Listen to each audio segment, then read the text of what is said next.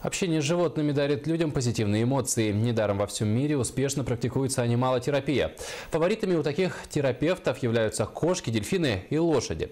На ипподроме ЕГСХ также проходят не совсем обычные занятия по верховой езде. Подробнее в сюжете Евгении Андросовой. Кроме конкура манежной езды и вольтежировки на ипподроме сельхозакадемии с прошлого года практикуют необычную терапию. Яна Находкина прошла курс ипотерапевта в Иркутске. И сейчас она единственная в республике имеет такой сертификат. Для ипотерапии нужен конь уже более взрослый. Вот как, вот, например, он уже э, спокойный. Он мерен у нас, кастрированный. Да, он даже привыкший к тому, то, что ее трогают везде. Могут дети даже щипают некоторые и так далее. Но он очень терпеливый у нас, привыкший ко всему этому. Некоторые дети занимаются около плохое зрение или слух, это тоже помогает им. Если уши вперед, то он все внимание вперед уделяет. Может, ну, надо насторожиться, короче. Он может резко отпрыгнуть или что-то его испугать. Если одно ухо вперед, другое назад, то он слушает вас.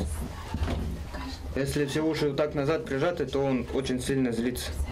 А язык почему высовывает? Радуется. Радуется. Балуется.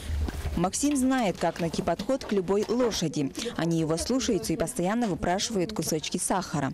Всего в конюшне 9 лошадей. Скаковые, рабочие и частные.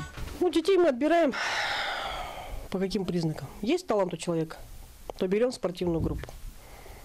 Если таланта нет, но есть большой процент трудолюбия, то тоже отбираем. Талант у Агаты Винокуровой, по словам ее тренера, есть. Несмотря на холодную зиму, девочка не пропускает ни одного занятия. Ну, я просто так с подругой пришла. У нее было как раз последнее занятие, я просто прав, ну, на пробное занятие пришла. Потом на день рождения попросила папу, чтобы он мне подарил вот этот ну, абонемент.